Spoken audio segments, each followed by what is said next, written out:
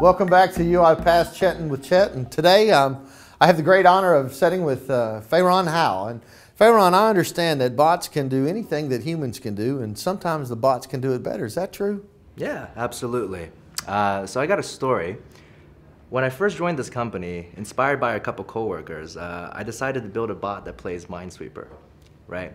Now, when I first started building this bot, I built a bot to play Minesweeper just the way I would do it. I would make a click, I would read the board, decide on my actions, click again, read the board. Sure, linear thinking, yeah. That's right, you know? And as I was writing my robot to do that, I realized, you know, what takes the robot the longest amount of time to run this process? It's not actually clicking, because we can do that super fast, right? Yeah, that's a no no, no load brain, activity. No brain, yeah. exactly. Uh, what actually takes time is reading the board Okay. and interpreting the results. All right. So in order to make the robot as fast as possible, I had to actually reduce the number of times I read the board.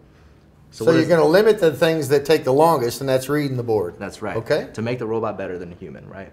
The way I did it was rather than making a decision on a click and doing it immediately, I'm going to read the board once, decide all the actions I can make right then and there, Ah, okay. and then do all of them at the same time and then read the board again, right? So that cuts down on how many times I need to read the board. But I took it one step further. I don't need to read the same cell twice. Once I made a determination, if it's blank, if I already clicked it, doesn't need to happen again, right? So, so, you're reading the board fewer times, and you're leaving out segments in the board that don't need to be reread. Those exactly, clear cells. Okay. exactly, right? Because even me as a human, I would glance over the old stuff I already clicked, refresh my memory.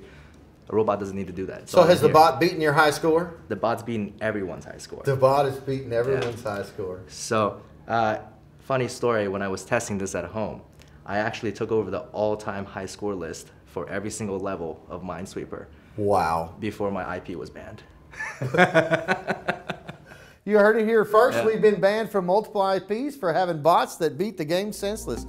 Feiran Hao, thank you very much for coming in and see us today, and we hope to have you on again. All right, thank you, Chet.